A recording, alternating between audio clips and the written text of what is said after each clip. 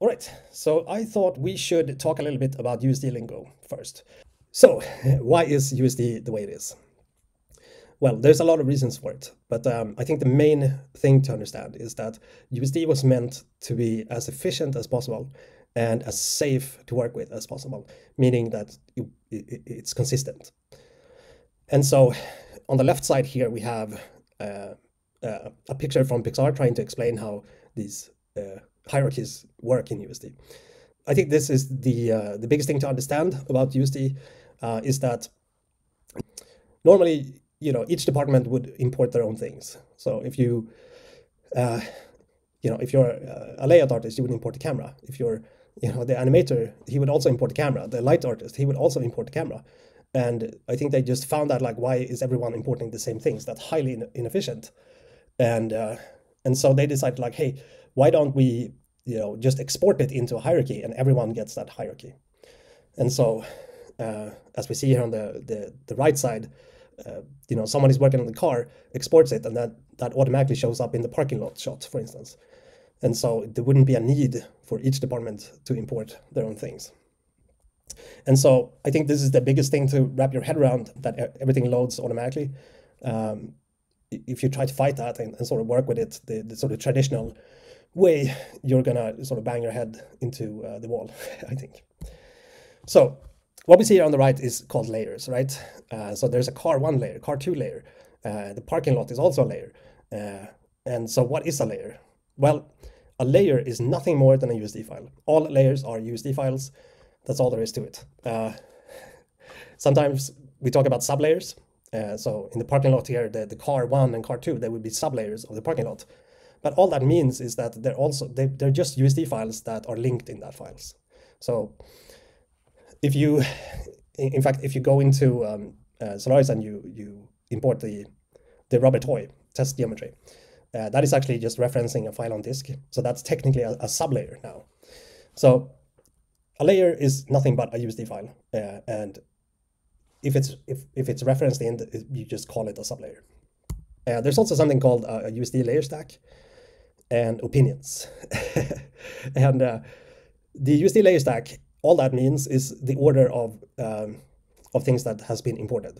So uh, normally you would set this up so you would have um, you know layout would be imported, you know, everything from layout would be imported, then everything from animation would be imported, then everything from FX would be imported, and then light and so on.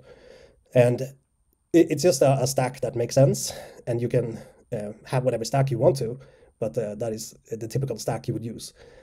And on the stack is is just a bunch of imports essentially. Now, opinions that is just uh, the order of the stack. So in USD we talk about uh, weaker and stronger opinions. But uh, all that means is that whatever has been imported later on uh, has a stronger opinion. So for instance, if you would uh, if you would import a cube and then you import an animated cube, well, the animated cube is going to override the, the, the non-animated cube. And so it has a stronger opinion. But all that means is that it was imported later than the first cube. so opinions is just the order of how you imported it. There are tricks that you can manipulate this a little bit, but for the most part, uh, you don't have to worry about that. Another scary thing is layer breaks. so uh, the way USD was designed is that uh, it's it's meant to export fragmented data, which means that if you have a you, in Maya, if you animate a cube and you export that, if you, you look at that file, if you bring it in, you would actually have that cube animated, be baked in. But with USD, that's not the case. So in USD, you use these things called layer breaks. And whenever you put down a node called layer break, it will just ignore everything that's above and it will only uh, export whatever is below. And so if you have a cube and then you put down a layer break and you move the cube and you export it, if you would read that file back in, you wouldn't see a cube at all. And if you would open it up and actually read what's in the file, you would see that it doesn't even contain a cube at all. All that it contains is the new position that you moved it to. And uh, some may think like, well, that's stupid, right? But the idea is that because the only way to see the, the change is to combine it with the original cube, um, the idea is that you break everything that's been you know done into these fragmented data. So the data is small, it loads fast, and that's how you were able to have like lots and lots and lots of, of geometry and stuff like that. So it's it's incredibly efficient and speed wise and stuff like that but it does come with some drawbacks. And one of those drawbacks is versioning. Imagine the same example with this cube and we exported an animation of that cube. Now in order to see the animation of the cube both the cube and the cube animation now has to be loaded because they, they work as a, a together right uh, and they don't work by themselves uh, and so now you have a dependency chain because um, you know if someone would uh, change that cube to uh, you know uh, a sphere or something, now you don't have the same vertex points on it, uh, and so the animation doesn't fit anymore maybe, um, and so how do you deal with that? You know, how do you deal with that dependency chain? So the way USD or Pixar made it, um, thought of it was that instead of that, we, we pull in versions. Um, versions just get pushed. So you always use the latest stuff. And then you can roll back, you can reject things and stuff like that. But it is a shift of thinking that instead of um, bringing in what you want and selecting what you want, you basically select what you don't want. And the reason for that is that you know if you uh, if you're not careful, you know all these uh, the the animation won't fit with the the model anymore or the um, the uh, material you're using is, is meant for another previous model and uh, now that doesn't work and stuff like that. So um, this is what, also one of the biggest things that people complain about with versioning that there isn't a good way to do it. And there isn't anything sort of built in to to do that uh, to have that control. Um, there is idea like there are things called asset resolvers where you can resolve things like that but that's uh, things you have to um, basically code yourself. It's it's nothing that exists uh, out of the box, and uh, it, it's a big uh, problem for working with with USD in general.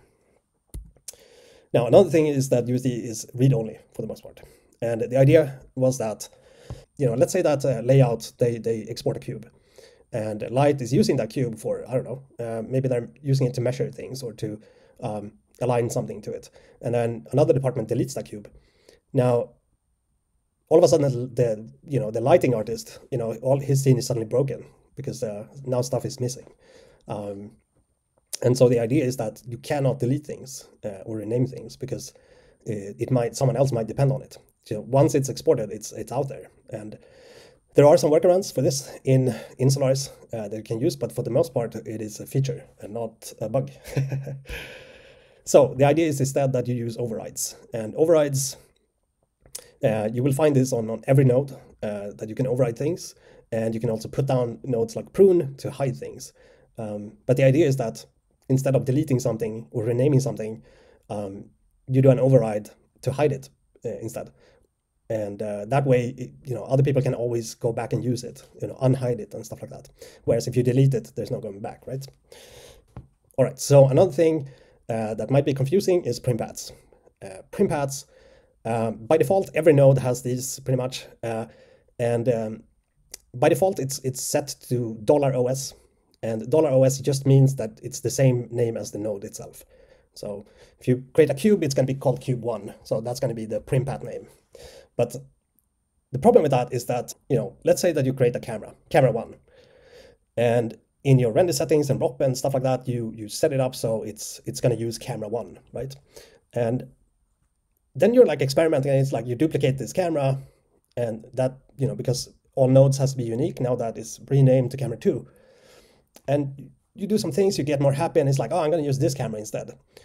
And you connect that camera. Well now all of a sudden nothing works because you have to change everything to camera 2 in your render settings and render ROP now because it's a different name. And so this is where primpaths shine. So instead of $OS you can basically set a USD name. So if you name your camera to RenderCam, that is what it will always be called. And so even if you duplicate that node, the USD name will always be RenderCam. And then you can use that name uh, everywhere. And it has a lot of uh, positive uh, aspects to it. Essentially, you can create you know empty folders for your car and, and just call it car uh, as a primpath. And then other people can add shaders to it and move it. And then once the asset is there, it will just inherit those as long as it has the same primpath name. And uh, even in this parking lot example, it gives uh, artists more control. So let's say that you do have this car one, right? And it's been positioned in layout and stuff like that, and it expects something called car one. Now, if you downloaded maybe a car from you know TurboSquid and it's called uh, Lamborghini, you know, how do you deal with that? You know, and so this again is where primpaths come in. So you can just set the primpath to be car one, and uh, and it will be car one instead of Lamborghini. And so it, it brings a lot of power. It's uh, it's good practice. Always use. So a lot of these things, you know, they're solved by uh, other studios out there. Uh, each studio, you know, they, they make their own solutions based on, on what they need and their size and, and that sort of thing. And, uh, you know, how they want to deal with the safety aspects and stuff like that. But, you know, none of these things are, uh, are, are readily available for, for artists. You know, there are maybe some solutions out there that, uh, that, that have some, but um, there are not a lot. All right, so let's talk about some practical issues as well that we wanted to solve. So this is a, network uh, from a shot, and this is usually what you don't see, what people don't show you.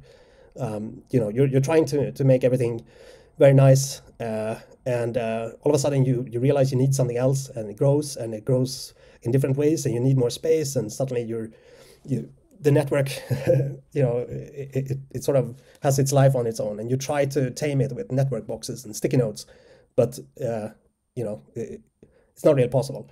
Uh, and so this was um, one of the big challenges to to solve. Like, how, why does that happen, and uh, you know, how do you solve that?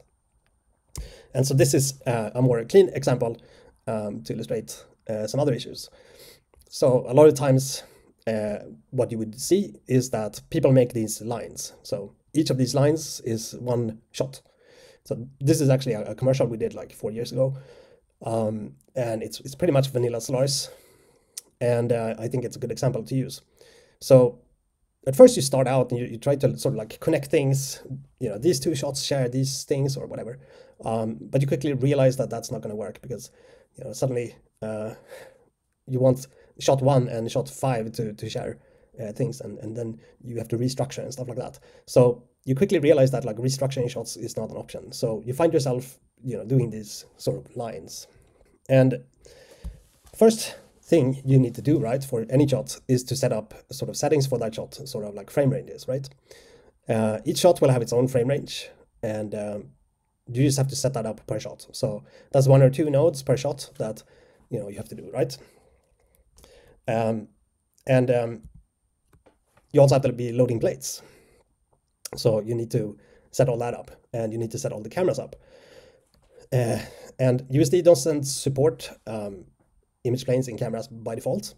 Uh, in Solaris, they, there is a workaround for it. They've added one, uh, but it's it's for Houdini only.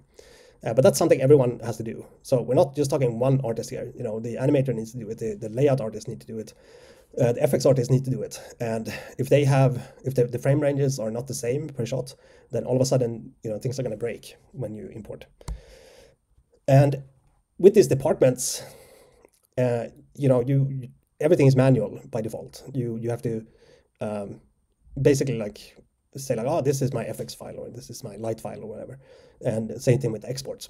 The problem with that is that there's a lot of room for a human error. So a famous example uh, I have is uh, we did a commercial with a squirrel. The problem is that because we're Swedish, nobody knew how to spell uh, squirrel. So we ended up with like five different spellings of squirrel, and it changed for every export. And so everything broke all the time because you know we couldn't. we could each department just wrote their own name for squirrel or their own spelling. Um, so that was a big problem as well. Um, versioning, of course, uh, another big problem. Um, some of these ROPs from labs, uh, they do have a rudimentary versioning control, or you can set the version when you export. Other times you, you just basically change a number in the save path, but it's all manual to some degree. And most of the time you forget to version up and you realize that in the middle of your render, it's like, oh no, I just I just uh, did a test render of a cube over my awesome full HD render right now. Uh, so that's that's also a problem uh, where you uh, overwrite things that you weren't supposed to. Uh, the absolute biggest problem, though, is that all of these lines that we see here uh, are sort of in isolation. So it happens because the ROP the output, is at the bottom. So the red uh, node we see here uh, for every shot in the uh, last is um, is the render ROP, right? And so it becomes it natural that all of these you know become in a, a straight line basically. Uh, but as I alluded to before, you know what happens is you know you, maybe for the first two shots you're like oh those two shots are going to have you know uh, night uh, light and uh, the other shots are going to have daylight. Great. So you think you know I, I can sort of branch it out so that makes sense. But then you uh, then you all of a sudden you're like oh wait but one shot one and shot three they they're going to have the same asset in it and and shot you know seven and, and 14 is going to have the same shot in it and so you quickly realize that it's impossible to to branch these things in a, in a smart way and so what you end up doing instead is, is doing merge nodes and grabbing stuff from other branches and, and fetch nodes you know or you do what what was done here to keep it clean is to, to basically you know clone or copy the nodes over so every shot has like five nodes that are identical between shots, which is you know highly inefficient, really. And so it, it becomes a big problem like that because you know the idea is that you you're supposed to share things and override things, but uh, the end result is that you you don't. Um, you also have this kind of ROP overload. So in this one, you know, there's like 25 ROPs or something, and um, in this example here, uh, it, you know, pretty much every shot has one ROP you know one output, one beauty, right? Uh, maybe some has two, but normally you would have you know five times that. You know, maybe you have a foreground render, you have an, a background render, um, maybe you have a, breakdown render, maybe you have a preview render, uh, maybe you have a tech pass, and so these 25 nodes, all of a sudden, you know, if you do that, all of a sudden you have you know 100 or 100 plus uh, ROP nodes, and it's impossible to keep track of. And every ROP node has their own overrides and you forget which one has what. And after a while, you forget which one uh, had I have I rendered now, you know, and you start marking them in different colors, and but then you forget to revert the color the next time you open the scene, and so now you're even more confused. so that was also something you know I really wanted to solve. Um, and so with the USD uh, issues and and sort of these practical issues, that was the base uh, for what we were trying to solve uh, and, and make uh, easier. And let's dive into it.